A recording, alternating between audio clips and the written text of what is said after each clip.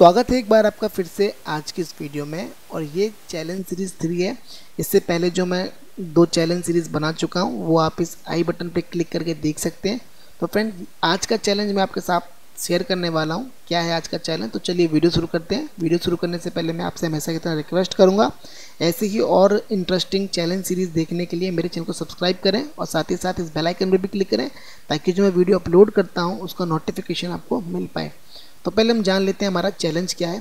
देखिए मैं एक ऑब्जेक्ट क्रिएट कर लेता हूँ, कुछ भी रेक्टेंगल या इलिप्स कुछ भी, और मैं इसमें एक कलर डाल लेता हूँ, ठीक है? ये वेक्टर फॉर्म में हम कैसे देखते हैं? क्योंकि आप देख सकते हैं, इसको हम मॉडिफाई कर सकते हैं, इसका हम कलर चेंज कर सकते हैं। तो इट्स मीन ये अभी वेक्टर फॉर्म में है, ठीक है?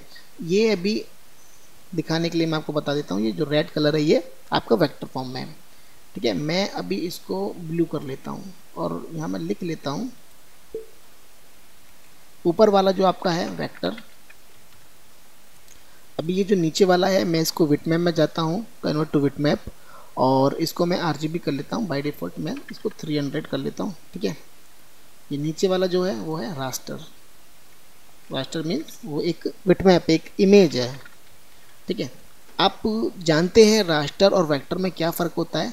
जब आप इसको कितना भी जूम कर लेंगे, ये पिक्सलेट नहीं होगी वेक्टर वाली और रास्टर जो है पिक्सलेट हो जाती है। इसमें एक कमी और है, जब ये विटमैप हो जाती है तो आप इसका कोई भी कलर चेंज नहीं कर सकते, ठीक है? आप इतना समझ चुके हैं कि वेक्टर का आप कलर चेंज कर सकते हैं, जबकि आप रास्टर का कलर चेंज नहीं कर सकते, जैसा मैं आपको कलर चेंज करके दिखा रहा हूँ। इतना आपने देख लिया, ठीक है? अब मैं इसको इधर, एक तरफ़ रख देता हूँ। अब मैं इसको ऐसे लेता हूँ और इसका मैं इस बार कलर कर लेता हूँ कुछ आपको समझाने के लिए ठीक है? तो ये आपका चैलेंज है। अब हम जाते हैं ड्रॉप शेडो पे, ठीक है? और हम कोई भी एक प्रीसेट ले लेते हैं रेफ्ट लाइट कुछ भी। मैं इसको इतना रख लेता हूँ और उसका जो कलर है वो मैं बढ़ा लेता हूँ थोड़ा सा और इसका जो फैदर है वो भी बढ़ा लेता हूँ, ठीक है? आप इतना समझ चुके हैं सिंपल है। अभी मैं इसको जाता हूँ अरेंज में और करता हूँ उसको ब्रेकअप आर्ट यहाँ आप इसका कलर चेंज कर सकते हैं। ठीक है? तो आपको ये बताना है कि ये जो ड्रॉप शेडो की ये जो परछाई है, यानी कि ये शेडो है, ये क्या है? ये वेक्टर है या फिर ये विटमैप है? अगर ये वेक्टर है तो ये विटमैप मतलब ये विटमैप भी है। देखिए, ये कलर चेंज हो रही है तो इसका मतलब ये वेक्टर है, क्योंकि तो वेक्टर का कलर चेंज हो जाता है। और अगर ये विटमैप है तो विटमैप में आप ऐसा फैदर क्रिएट कैसे कर सकते हैं? तो आपको ऐसा बिना ड्रॉप शेडो के एक ऐसा ऑब्जेक्ट क्रिएट करके दिखाना है। और आप मुझे मेल कर सकते हैं मेरी आईडी पर, और आप मुझे बताएँगे कि ये कैसे किया है हम लोगों ने। आप कमेंट सेक्शन में उसके जो आइडियाज़ हैं वो शेयर करें। एक बार आप फिर से समझ लीजिए। देखिए, ये जो मैंने आपको बताया है वेक्टर का कलर चेंज हो सकता है बट ये जो है देखिए, आप बिटमैप पे जाएँगे तो ये बिटमैप भी नहीं है। आप देख सकते हैं, ये विटमैप भी नहीं है। अगर ये विटमैप होती तो ये जो ऑप्शन है वो एक्टिव हो जाते। हैं ना? ठीक है? अभी ये हाइड है और इसका हम कलर भी चेंज कर सकते हैं।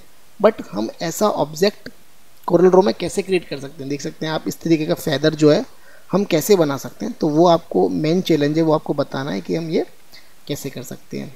तो फ्रेंड ये थी आज की वीडियो और भी अगर ऐसी इंटरेस्टिंग वीडियो आप देखना चाहते हैं तो प्लीज़ मेरे चैनल को सब्सक्राइब करना ना भूलें। मेरी वीडियो को अपने फ्रेंड्स के साथ शेयर करें ज़्यादा से ज़्यादा, ताकि आपकी मुझे हेल्प मिल सके और आप मुझे कमेंट सेक्शन में अपने आइडिया शेयर करें। मैं उन पर वीडियो बना सकूँ। जब तक ज़्यादा वीडियोज़ होंगी और जितना ज़्यादा इंटरेस्टिंग हमारा वीडियो का हमारा जो ग्राफिक का प्लेटफॉर्म है, वो ज़्यादा इंटरेस्टिंग होगा। तो फ्रेंड ये थी आज की वीडियो अगर आपको वीडियो पसंद आई हो तो प्लीज़ वीडियो को लाइक करें। मेरे चैनल को सब्सक्राइब करना ना भूलें। Thank you thank for watching